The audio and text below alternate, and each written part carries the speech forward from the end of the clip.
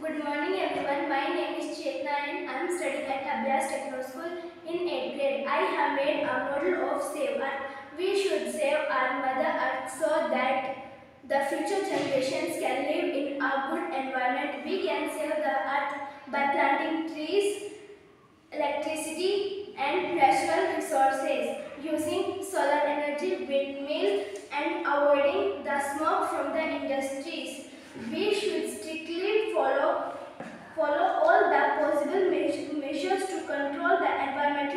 pollution and global warming. Thank you.